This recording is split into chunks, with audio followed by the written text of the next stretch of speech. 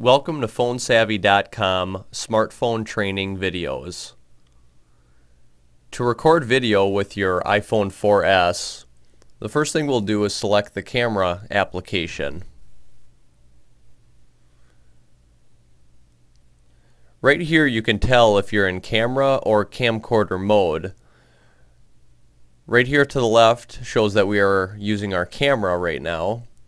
We want to slide this over to our camcorder so we can record video.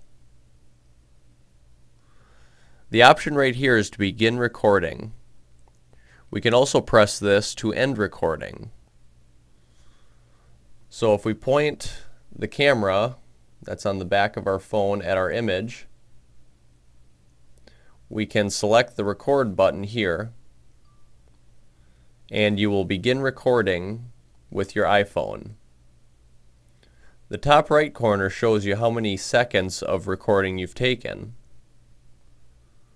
To stop recording, press the same button located here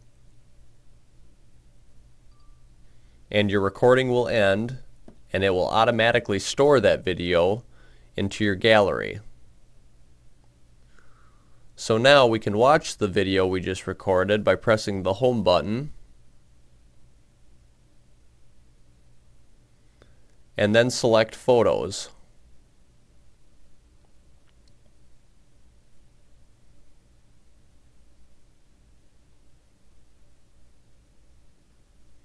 If we select our camera roll option, we can see the pictures and videos that we've taken. This lets us know that it's a recording based on the camcorder icon in the bottom left corner. So if we select that, it will begin playing the video. And then select play.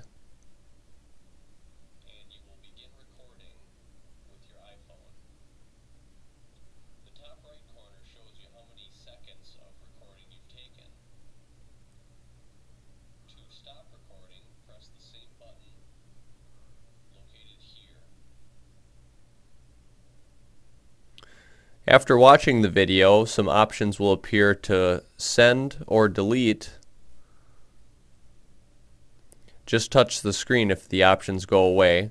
We can delete this video or over in the bottom left corner we have the option to share this video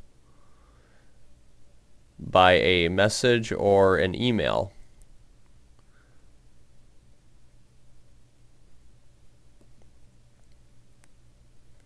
If you want to learn more about your device, visit phonesavvy.com where we have over 50 training videos on the iPhone 4S.